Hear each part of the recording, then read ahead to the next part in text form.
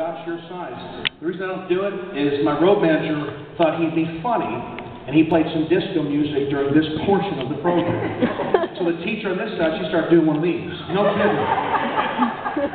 Teacher on this side started laughing so hard as I got about halfway up, she did something ugly. She let go, flat out let go. You ever seen somebody jump off a seesaw before? The teacher on this side went flying that direction. The principal was sitting nearby, and he got a lap full of teacher.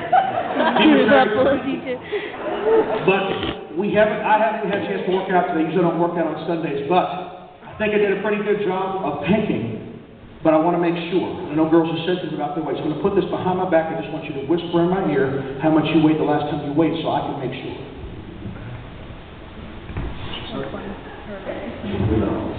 That's only four hundred and fifty pounds, it's all good. I'm just kidding, it's only, it's only, it's only four oh seven, I'm just kidding, all right, hold on, girls.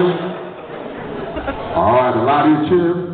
Fast to a sprinter. Here we go.